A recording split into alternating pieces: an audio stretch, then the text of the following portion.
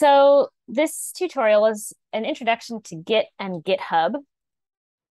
Um, you might have heard of these terms. Um, if not, that's okay too. So what is Git? Git is a tool. It's actually an open source tool for versioning of files. So it's very commonly used in programming um, so that you can use version control on any of your files and specifically on your code. So what is version control? If you're not familiar, um, version control is trying to help solve the problem of uh, something you might be familiar with, something I certainly was familiar with. If you have, you're writing a paper, for instance, and you have your, you know, okay, I'm all done, final paper dot doc, you know, you have your um, Word file. But then you're like, oh, whoops, found another typo. Uh, I don't want to rewrite that one. I'll just say final paper two, and I'll remember that that's the final one. But then your advisor suggests you add a new paragraph, but then you're not completely convinced you don't want to overwrite what you already did. So you're saying, okay, now I'm going to put final in caps. You're like, this is the final paper. So version control is, is basically a way to help manage this situation. Instead of having to rename things and you rename, this is like the actual final paper. Um, what version control does is it saves the changes that you make and you can usually create these checkpoints so um, in code, you can do this with files, like I mentioned here, like Word files, but you can also do it with, with code. Um, you might uh, have a working, you have your notebook and it runs and everything works great. You might create a checkpoint there. Say, okay, this is where everything worked. Now I'm just going to try and add a new, uh, you know, something new, a new function. But then you, by adding a new function, you end up breaking what worked, what was working before. Then you can actually go back to that checkpoint um, that you created. So it's it's helpful for keeping track of versions, but also so that you can try new things without um, worrying about breaking anything. And if you break it, you can just revert back to your previous version. So Git is exactly that. It allows us to do that. It is something that you will install locally on your computer. Um, and uh, it it's pretty powerful, which does mean that it can be a little bit of a steep learning curve. So I'll say that up front but it is a really useful tool. So I'm just going to have like a brief intro introduction to it. Um, so I'm going to go back to the launcher and open up a terminal. So you can use Git in a few different ways. Um, at the core, we tend to use Git from terminal.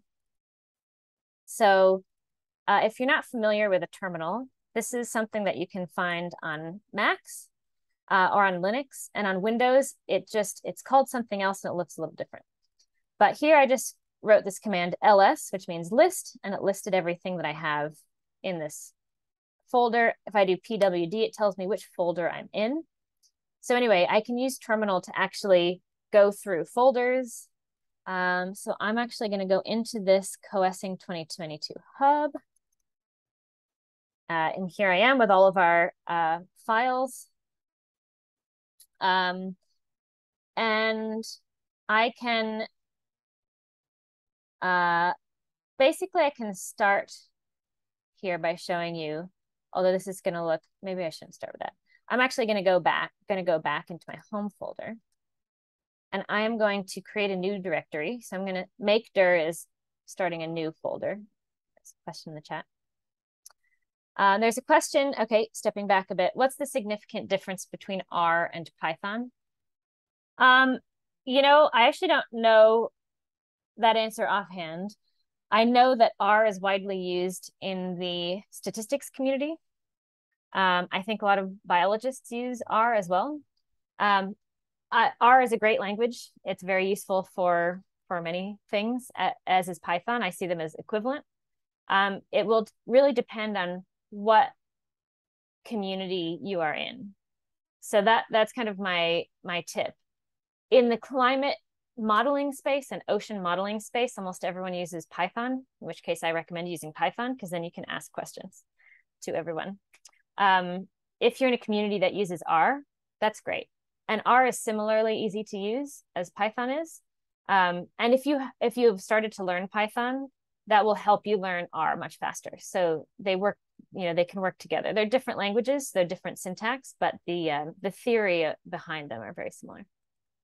I hope that was helpful. Okay, so jumping back in, I'm going to create a new folder. So I can actually do this in terminal, but maybe it's easier if I do this here.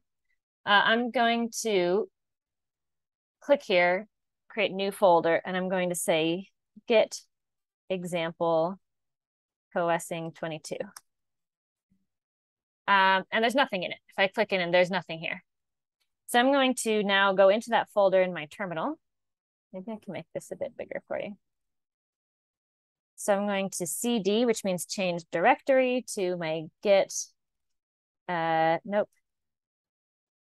Let's see, hold on, let me list, what did I just call it? Um, I called it, hmm, where did I create that folder? Oh, I created it in the wrong place. Um, okay, I'm gonna go back here to my home folder and create that folder. Git example coessing 22. Nothing like seeing me doing all this on the fly. Good learning process. Okay, so now I should be able to cd git example coessing 2022. So now I'm within this folder. If I ls, I can see nothing printed out because there's nothing in it. Uh, now I can type um, git status. This is something I type all the time. And uh, it says uh, fatal, not a git repository. So this is telling me that um, this new folder that I just created is not a uh, repository. Repository is kind of the same word for a folder. Repository is basically a folder that has Git enabled on it. So um, I can initiate uh, a Git. I can initiate Git. So I have Git. Git is already pre-installed in the Jupyter Hub, but I have to initiate whenever I want to use it. So I'm in currently in this folder and I can say git init and hit enter. And here it prints a few things out for us. But at the bottom it says initialized empty git repository. So now if I type git status, instead of seeing this fatal error that I saw before, I get a little bit of information. I say we're on the branch master. So branching is part of Git. There's a there are a lot of aspects of Git. So there will be a lot of new vocabulary here. So just hope you know take it in for now. It takes a little time to get used to. And it has no commits yet. Again, a new word commit. Um, and it says nothing to commit. Um, so let's just do an example.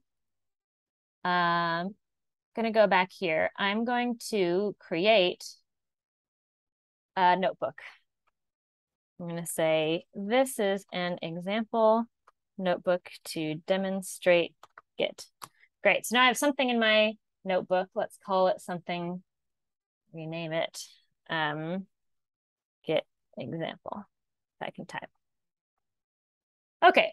So now if I go back here and I type Git status again, I type Git status all the time, so it kind of tells you where you are in your Git journey.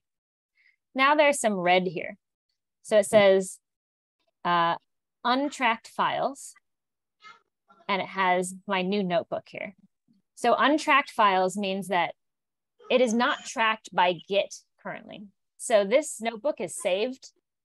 So it, it saves automatically in the Jupyter Hub. So it's saved here, but it has it is not part of Git yet. So if I want to add it to Git, I will type git space add and then the name of the notebook. Um, zoom in again. Um, you'll notice that if I type git space add and I start typing, I say GI and then tab, it auto completes for me. So I'm going to say git add. Now I'm going to git status again. And we can see uh, we have a few changes here. So now we have this changes to be committed. Um, sorry, I'm getting a little bit of feedback from someone. If you could mute. That would be great. Thank you. Um, so now we have these changes to be committed. So now it says there's a new file because I just added it as a Git file. And here it is. This is something you can ignore for now. Um, these are just, this is how a notebook works. Um, it has its own kind of checkpoints, but you don't, you don't want to add those. So just keep them as untracked for now. And this actually tells me what to do it says this is um, to unstage. So basically, if I want, if I accidentally added this file and say, oh, whoops, I actually don't want this to be added to Git, you can say git space rm, which remove, and then dash dash cached, it tells you what to write. But here I do want to add it. So now the next step is I want to create this checkpoint. So I'm going to say, um, I want to commit the changes that I've made, which is creating this new notebook. Uh, and I want to commit it to my Git folder or repository. So now I'm going to type git commit minus m. That means message. And then I have to put quotes and I have to put a little message in here. Um, so I might say um, created new notebook. And now I hit enter. So now, if I do git status, now we don't have anything in green because that has already been added. Now it says it's been modified. This is kind of a feature because I have auto save on for my notebooks. It'll constantly say that it has been modified, but I haven't actually modified it right now.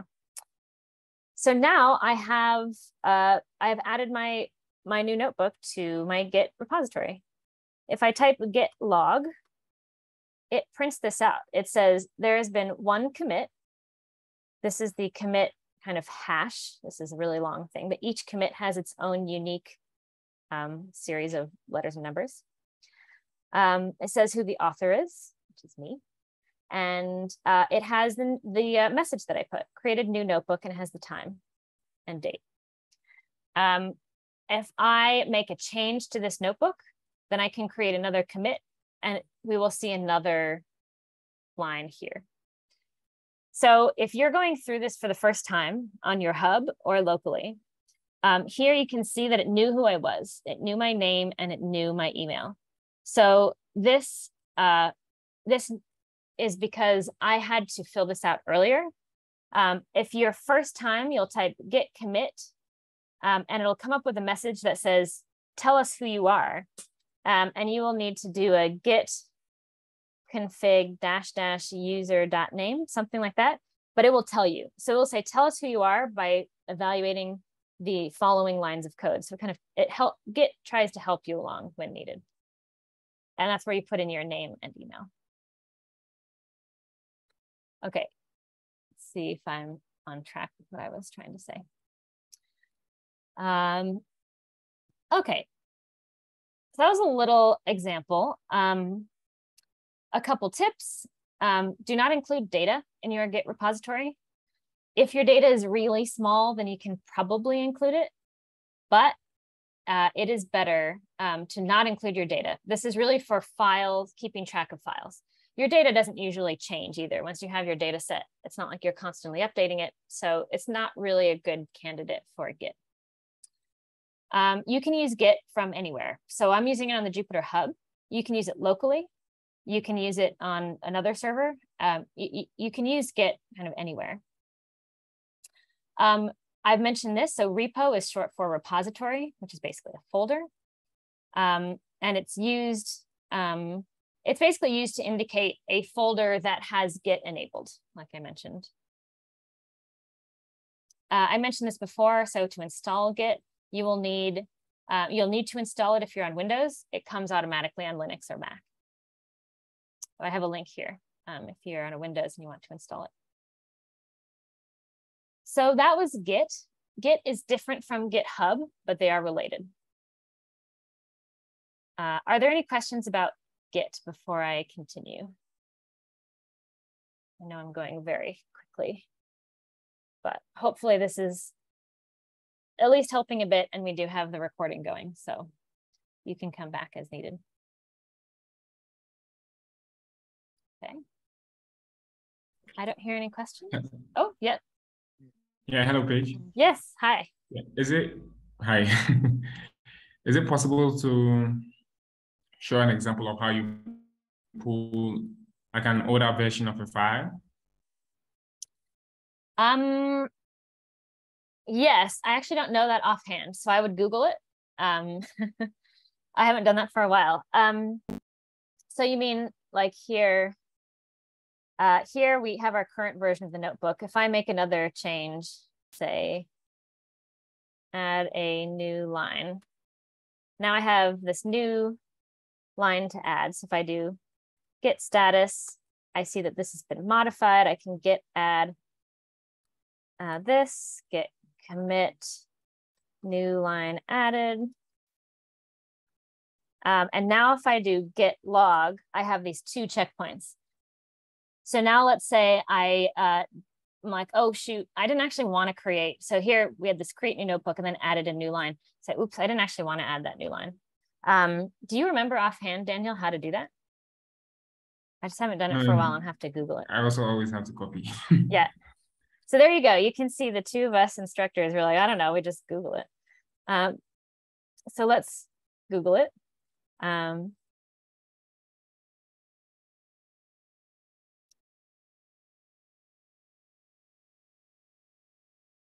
point git. Let's see if that works. So I said how to revert a file to a previous checkpoint using git. Git restore files to previous commit. That sounds good. Let's see. Um, okay. Oh, that's easy. So again, there's git log, so we can see. Then we're going to say git checkout commit hash. All right, let's give this a try. Good, good idea, Daniel. So I'm going to say um, git checkout commit hash. So git checkout, and then I mentioned the hash. So this is this really long uh, thing here of numbers and letters. So I'm going to say git checkout that. Let's see if that works. Yep, switching to this. So now I'm in this, so it kind of tells me what has happened. Um, if you want to create a new branch, branching is a thing. I'm not going to go into that right now, but that is very useful. Um, so now it says head is now at that. Let's see if that actually made a difference here. No. The git status. Head detached. So anyway, this gets a little complicated, I guess. I would have expected then if I reopened this, let's close that, stop it running and see if uh, see if it'll reopen.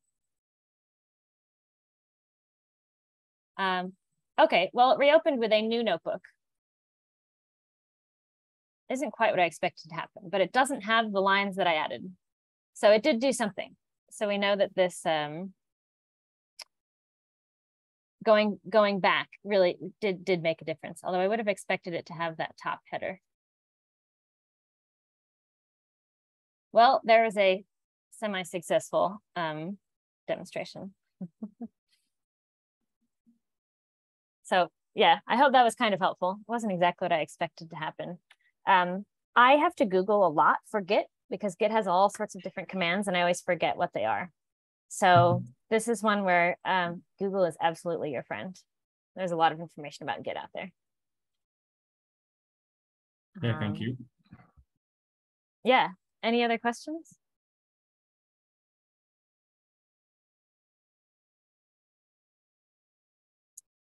Okay, I'm going to dive into GitHub. So GitHub is a website.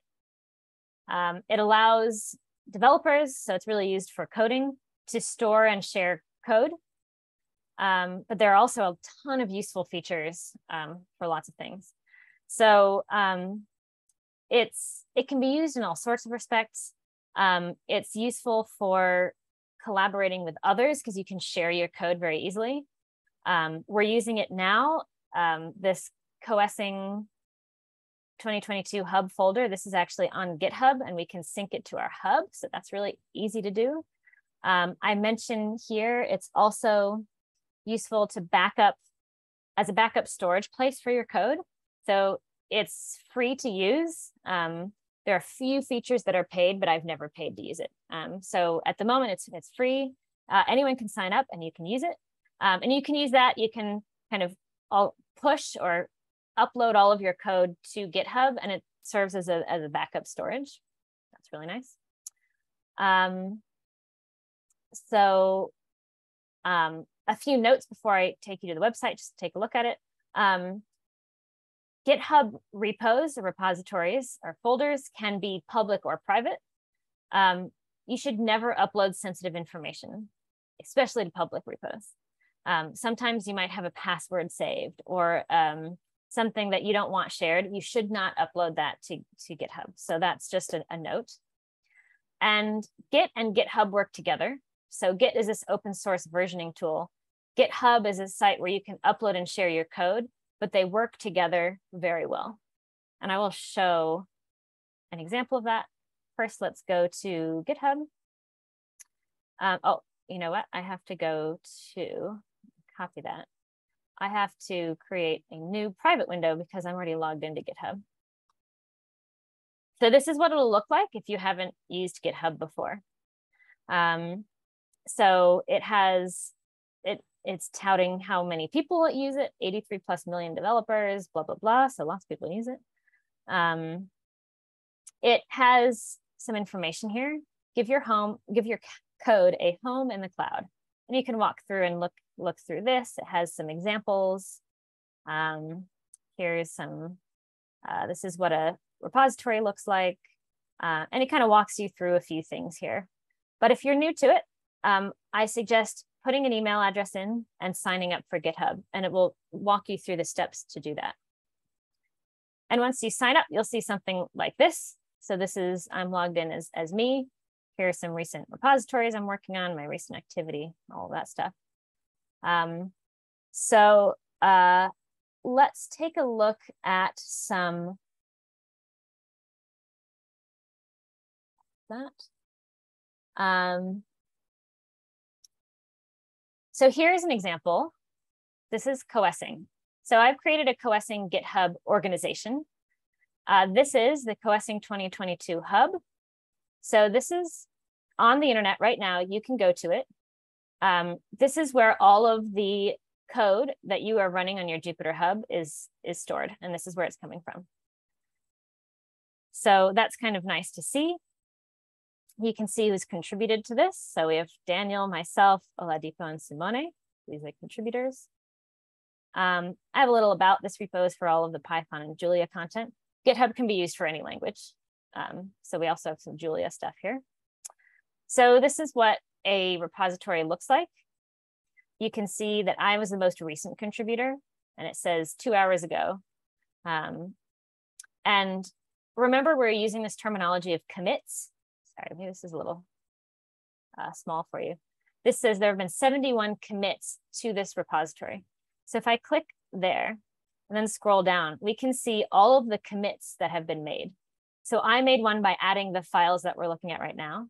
Simone made one where he corrected something in his module. And these, these here where it says last correction on optional module or add files via upload, these are those messages when we're saying commit minus M and then in quotes we write something these are these messages that we're writing so it is pretty nice to actually say what you have done to be pretty descriptive there just so that we know what's what's going on um, now it has commits from yesterday and you know you can see all of this stuff so this is all public and you can see it right now um, there are issues on github so this one is one that i didn't see until i just pulled this up but i didn't respond to it um, but you can start these issues. So this is saying, um, this is from Greg. He's saying, is this an appropriate place to add this lecture material? I should have responded, but I didn't. And this is what an issue looks like. So he has a comment. I could respond to this and say, you know, oops, didn't see this until now. Do you still want to upload your materials? This is all live. So you, I'm actually writing this and um, I can then comment and it leaves this comment here. So we can have a whole discussion uh, about, you know, whatever this issue is. Um, there are a few other things I was going to show. So here, this is a different, this is a, um, a repository that has a project. So this is called a project board. I just wanted to show this briefly. This is a really nice way if you're working collaboratively with a group to know who is working on what. So here uh, we have, we should be doing these things later, what we're doing right now, or what, what we're about to do, things that are in progress and the things that are done. Um, and you can see these are all issues. So this is a way of having issues for each um, kind of problem you have. So for this one, it says data CESM. I was supposed to um, get that data uploaded. I actually already did, so I can end this. But you can see it's me here. um, I'm assigned to it. So I am working on this. This is really handy when you're working in a group because then we can make sure that others in the group are not working on it at the same time so you don't duplicate your efforts. So that's uh, that example.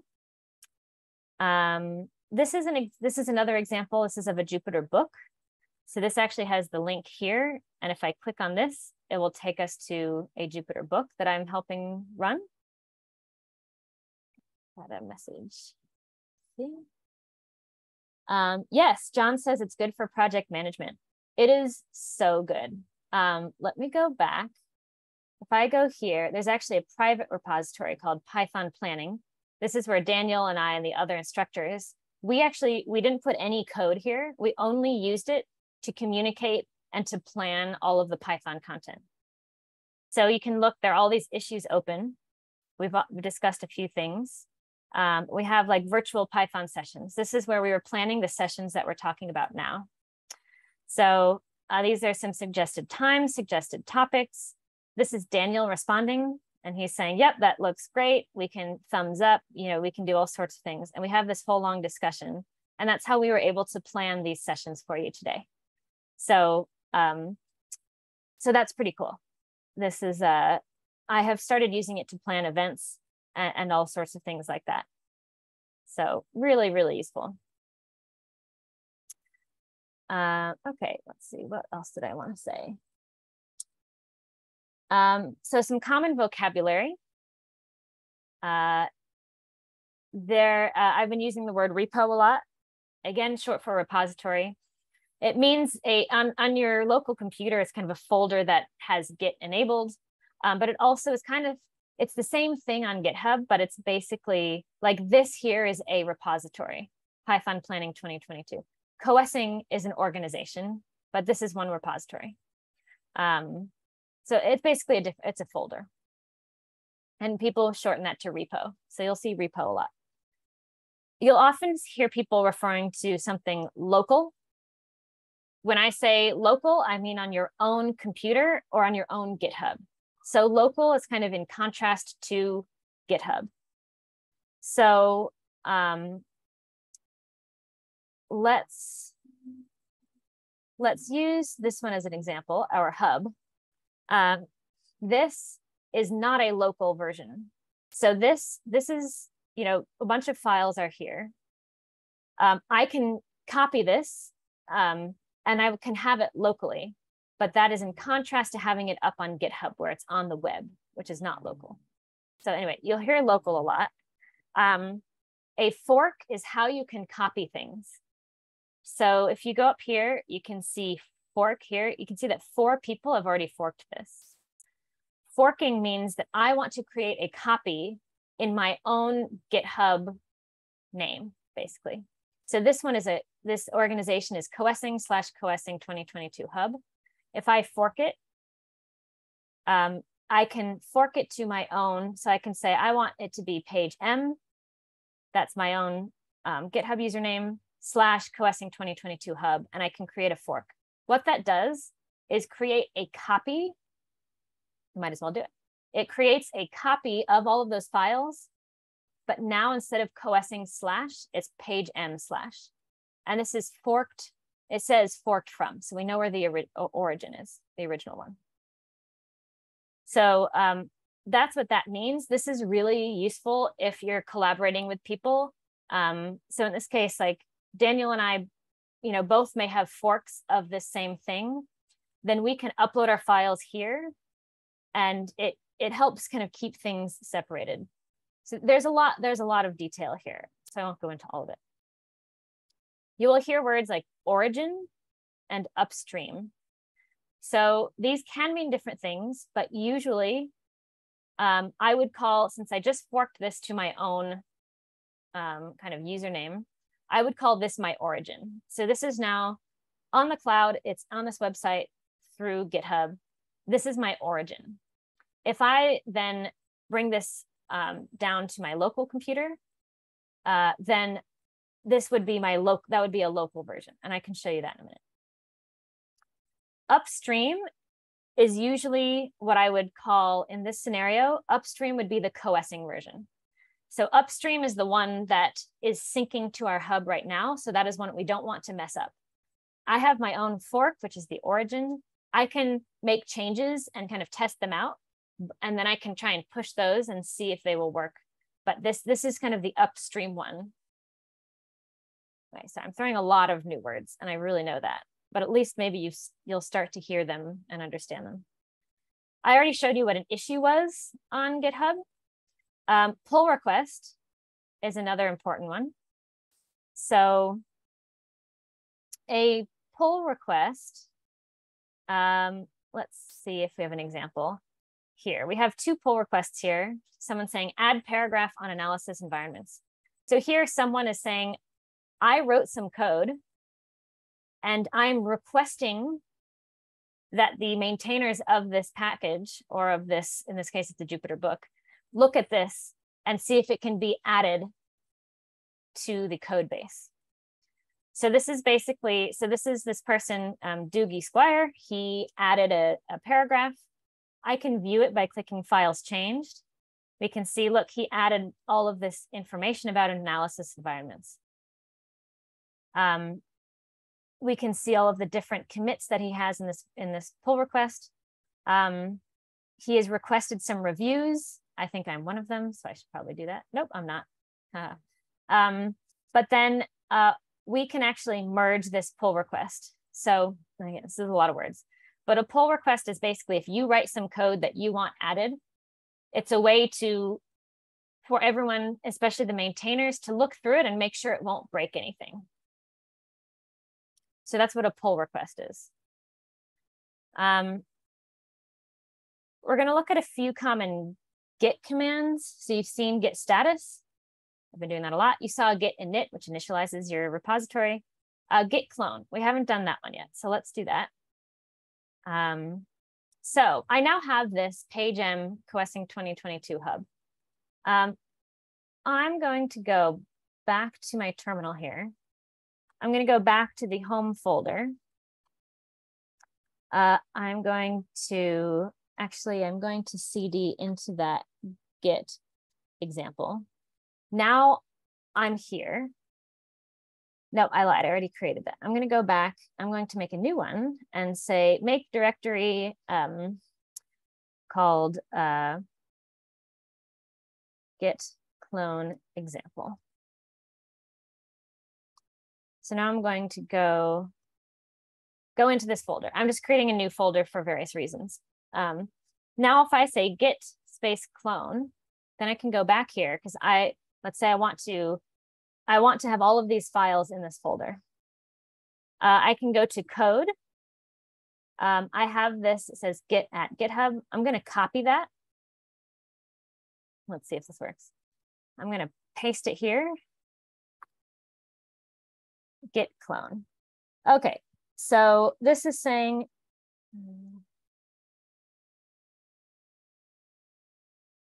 uh, could not read from the remote repository. Okay, that's interesting. So my permission was denied. So this is a thing you have to set up permissions. I'm not going to do that right now because it takes a little time. Um, but you would do this. You'd ha you have to set up your permissions. There's um, I'm gonna have to I'll have to link a few things because we're almost out of time or we're out of time. But that's what I would do. I would say git clone, and then it would basically add all of those files into this um, directory. That's too bad it didn't work. Um, okay, well, so here are a few other, we saw git add, we saw git commit. Uh, git pull is if you want to update your local repository from origin or upstream. So let's say I have this, I have my PaigeM coessing one, um, but then Daniel adds something to the coessing organization one. So he adds something here. So something has changed. Then before I do any more work, I want to pull that data or pull that new file, whatever new changes there were, um, into my own before I start working. So that's what git pull is. And git push is the opposite. Now I've made some changes locally, but I want to push that to the remote repository. Um, and so I would use the git push command. So I'm pretty much out of time and I don't, I'm, I'm going to have to run shortly. Um, I have a few other things here. Should I sign up for GitHub? Um, that's up to you.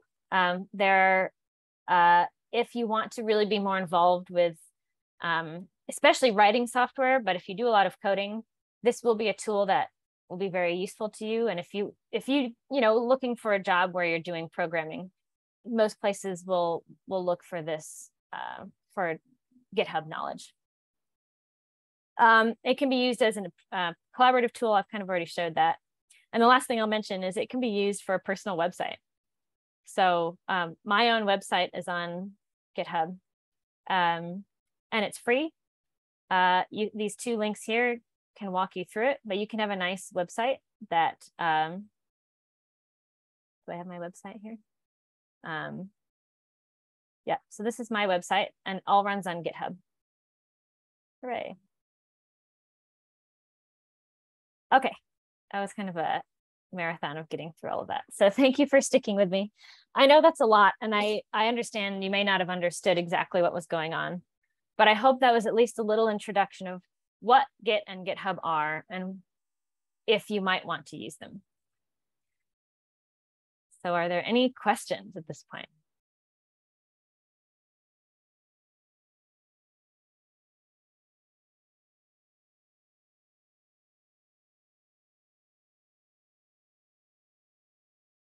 No questions.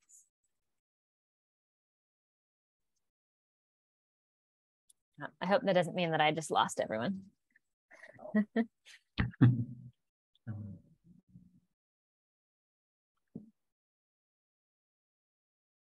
I want to make a quick comment. I mean, if you don't. Please. I, I, yeah, probably you already mentioned it, but also from um, GitHub, you could have them. Um, you can have notebooks from there. So, I mean, you can download, for instance, if you want to work on SST in, say, maybe the Gulf of Guinea, maybe someone has already worked on SST in, say, maybe off the coast of California or something. So you have like code you can easily just replace your data. Like you change your directory to place and you can use that code to analyze your your use the code in your analysis. Yeah. Absolutely. I guess I was breaking. No, I think we, we got what you were saying. No. That is a very good point. So a lot, uh, I mean, the point of all of this is sharing your code. So that also means that you can take other people's code. And that is really how I think that's the best way to learn coding is to see how others do it and you know get get used to to how they write it. So um yeah, yeah. that's a thank you for pointing that out. Very useful.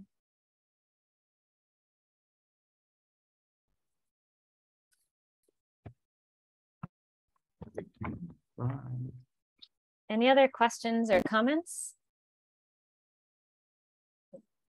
I'll stop the recording.